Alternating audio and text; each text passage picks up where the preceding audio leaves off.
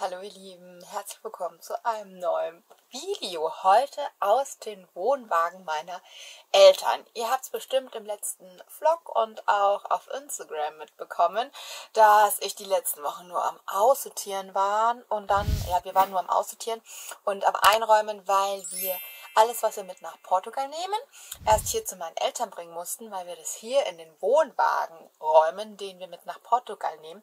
Der wird von einer Spedition abgeholt in ein, zwei Wochen. Und ja, ich hatte äh, dieses Bild hier gepostet von allen Kartons, die mit nach Portugal kommen. Und ihr wart sehr begeistert, wie viel ich auch die letzten Wochen ausgemistet habe. Und ich dachte mir, ich zeige euch jetzt einfach mal, was wir mitnehmen nach Portugal, was alles in diesen Wohnwagen kommt und später auch in unser Haus.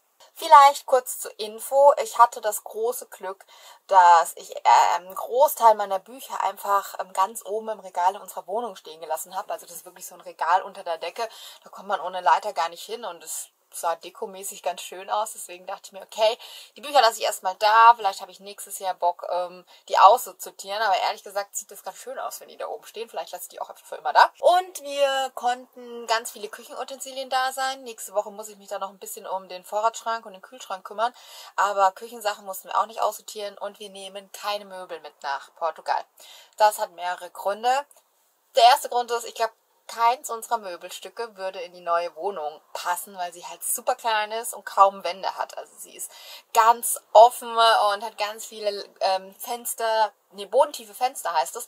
Und ähm, es würde einfach nichts in diese Wohnung passen. Und wir müssen echt total wenig auch kaufen. Vielleicht einen Tisch mit Stühlen ein Sofa und ein Bett. Mehr brauchen wir nicht. So ein paar Regale, dann mache ich einfach Holzplanken äh, irgendwie an die Wand. Also ich möchte es auch wirklich sehr minimalistisch einrichten. Und ähm, ja, deswegen bleiben alle Möbel in der Wohnung und auch alles Geschirr, denn wir vermieten unsere Wohnung in Berlin möbliert. Und ja, jetzt zeige ich euch mal die Kisten ähm, und was alles so drin ist, wie ich es hier einräume und was mit nach Portugal kommt.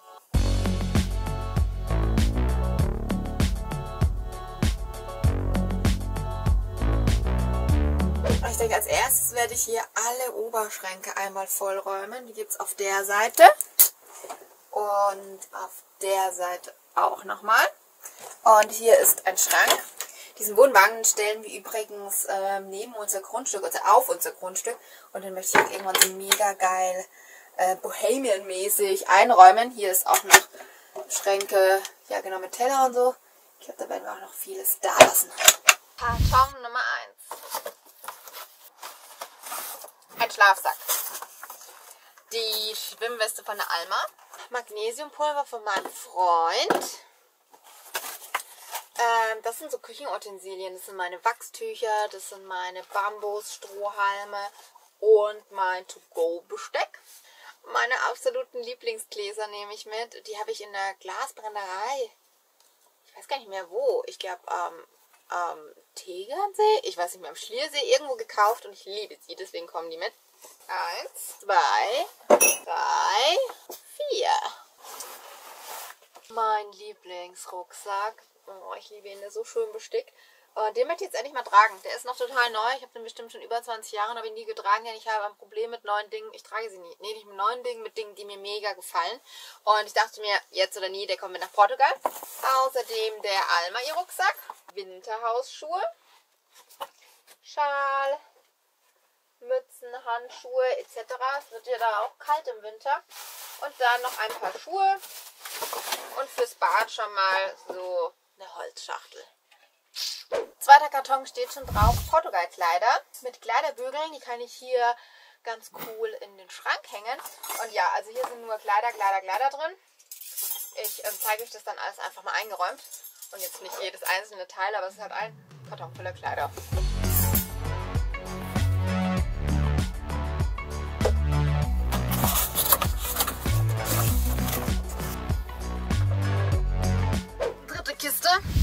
Sind auch Portugal-Kleider drin.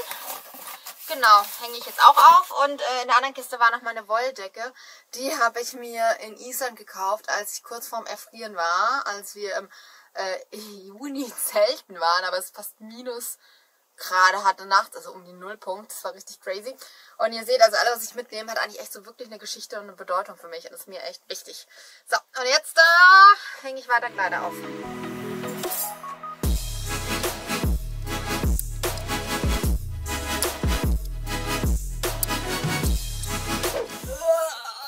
Kiste. Portugal Herz. Was habe ich da reingetan? Das. das ist immer spannend, was ich da reingeräumt habe. Ah, unser Drucker, genau. Also unser Drucker kommt natürlich mit. Wir werden ja dann irgendwann auch ein Büro haben. Ah ja, und hier sind halt alle meine Kosmetiksachen drin. Also wirklich so mein Waschbeutel gegen Mikroplastik. In dem Döschen sind jetzt zum Beispiel ähm, Rasierklingen drin. In dem Säckchen sind unsere Medikamente drin. Und ähm, ganz viele Ersatzzahnsköpfe. Also das ist so der Bereich Badezimmer. Wo räume ich das denn rein? Ich glaube, da nehme ich mir auch einfach so ein Schubfach da hinten und räume das rein. Aber ja, also das ist jetzt unspektakulär.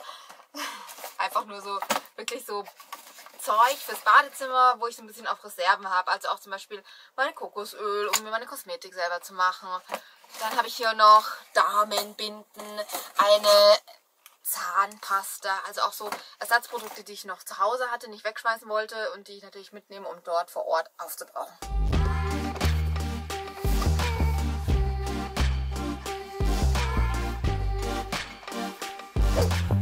Nummer 5 ist leicht, das ist schon ein gutes Zeichen.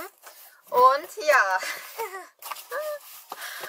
meine absolut geliebte Wolldecke, wo ich schon hundertmal gefragt wurde, wo ich die her habe von Etsy.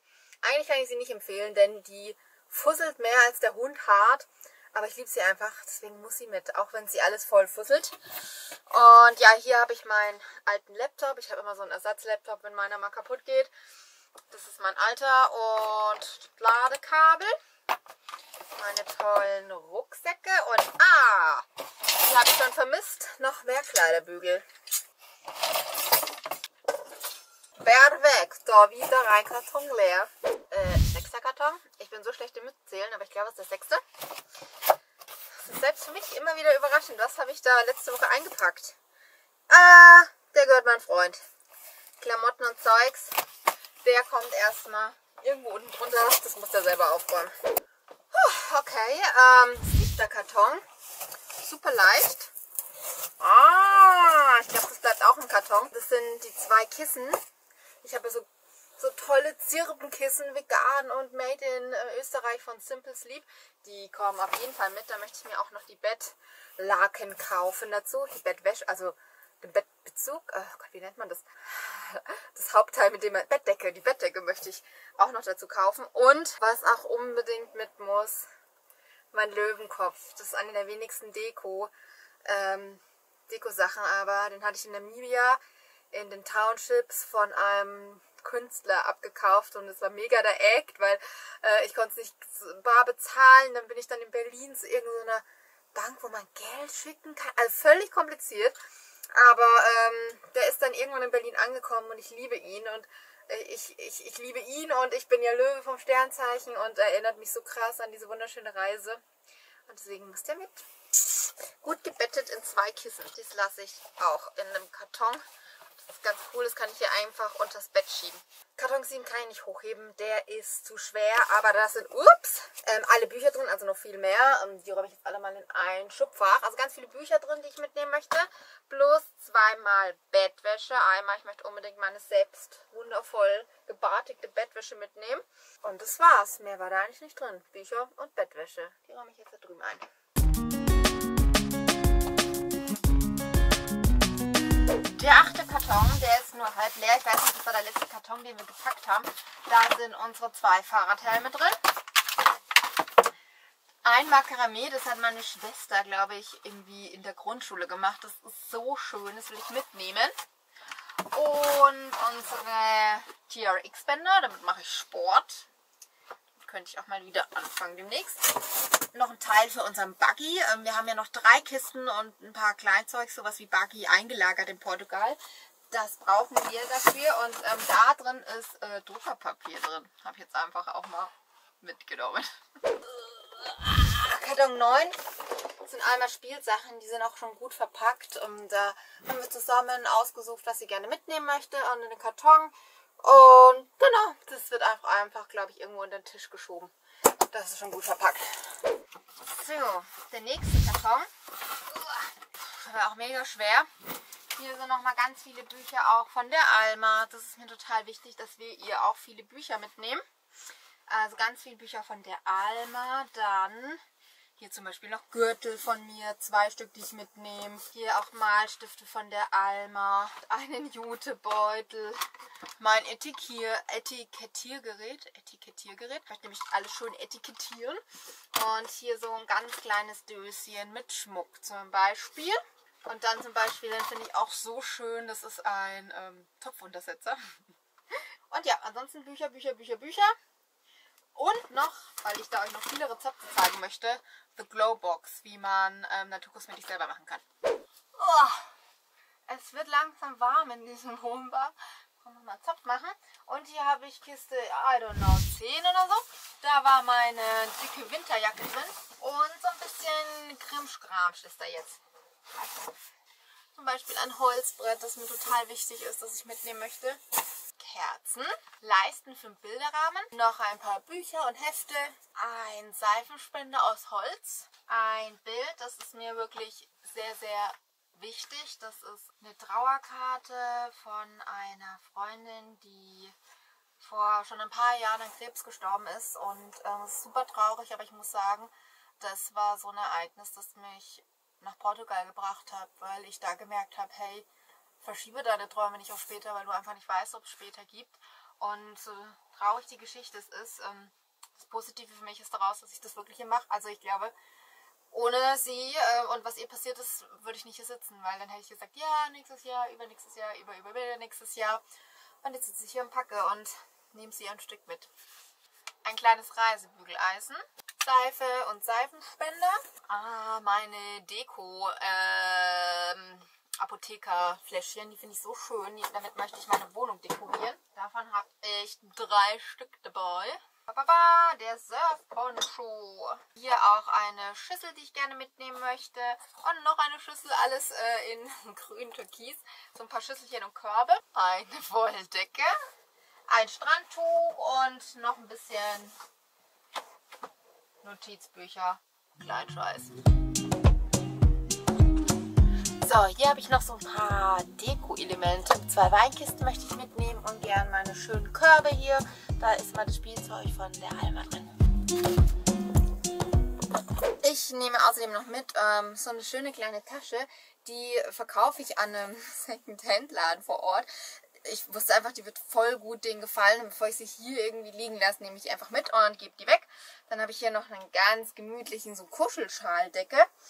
Eine, ähm, ja, zwei Sachen, so Winter-Hardcore-Sachen für Alma. Die habe ich jetzt schon eingepackt, weil sie die jetzt nicht braucht. Ansonsten ähm, sind von Alma hier noch gar keine Klamotten. Die werden wir in einem Koffer mit dem Auto mitnehmen, weil mein... Ähm, Freund ja mit dem Auto fährt und dann haben wir noch zwei Koffer mitnehmen, nämlich die Sachen, die wir jetzt die nächsten drei Wochen noch bleiben, äh, brauchen, weil wir sind noch drei Wochen hier in Berlin und in Schweinfurt und da brauchen wir natürlich auch noch ein paar Sachen äh, zum Anziehen. Und die kommen Koffer und auch alle Kleider von der Alma, außer die beiden. Und von der Alma hier noch äh, Bettwäsche. Was ich auch noch mitnehme, ein Deko-Element von meiner Schwester. Das ist so eine schöne Muschel, die werde ich gleich in die Eingangstür hängen, wenn wir einziehen. Mein äh, guter Plan für 2022, den habe ich mir schon bestellt. Da habe ich irgendwie noch eine Strumpfhose gefunden. Das ist ein ganz cooles Schloss. Das kann man unter das Auto hängen und den Haustürschlüssel reintun, wenn man surfen geht. Außerdem wollte ich mitnehmen so ein paar Tupperdosen und einen To-Go-Becher, weil wir haben da unten ja wirklich gar nichts. Eine Duftkerze, Salz, meine Zwitscherbox, die kommt ins Klo. Ähm, jedes Mal, wenn man vorbeiläuft, macht die so Zwitscher-Sound und ich liebe es. Ihr wisst ja, ich liebe Waldbahn, ich liebe den Wald und den vermisse ich leider sehr in Portugal. Deswegen hat mir meine Schwester letztes Jahr zu Weihnachten diese Zwitscher-Box geschenkt. Dann diese wunderschöne Tasche, äh, Tasche, Tasse nehme ich noch mit und dieses wunderschöne Brett. Also es ist eine bunte Mischung an wirklich Dingen, die mir einfach viel bedeuten, die ich mitnehmen will und alles andere bleibt daheim oder ist entsorgt, ausgemistet, eingelagert etc. pp. Eingelagert ist eigentlich nur eine Kiste so Kinderklamotten.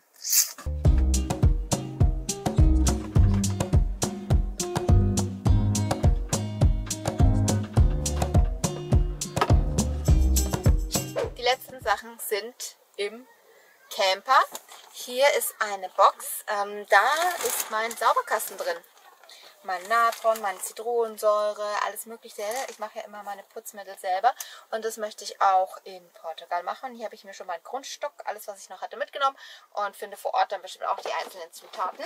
Außerdem wollen wir mitnehmen einen Wanderrucksack. Man kann in ähm, Portugal so mega schön wandern und wir wollen vielleicht wirklich mal längere Touren machen.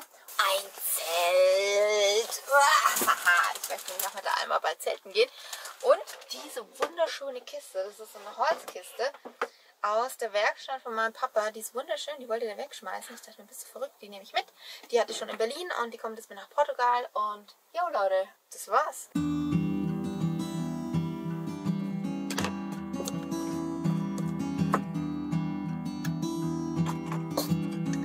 Das kommt also alles mit nach Portugal. Ich hoffe, es hat euch interessiert und gefallen. Gibt es irgendwas, was ihr total vermissen würdet, wo ihr sagt, hä, warum hat die Christine das denn nicht eingepackt? Ähm, vielleicht ist euch jetzt so aufgefallen, es ist wirklich so ein bisschen random. Es gibt viele Sachen, die ich vor Ort nochmal besorgen muss, aber ich habe wirklich nur Dinge jetzt da eingepackt, die ich unbedingt brauche oder die mir wirklich viel bedeuten.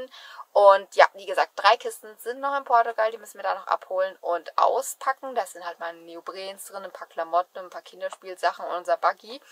Und ansonsten nimmt mein Freund nur noch zwei Koffer mit im Auto und den Hund. Und das war's. Cool. Ich freue mich. Hoffe, es hat euch gefallen. Gebt gerne ein Video einen Daumen hoch, äh, Herz, ein Like, abonniert mich, empfehlt mich weiter. Ich freue mich, wenn ihr nächste Woche wieder dabei seid. Ciao!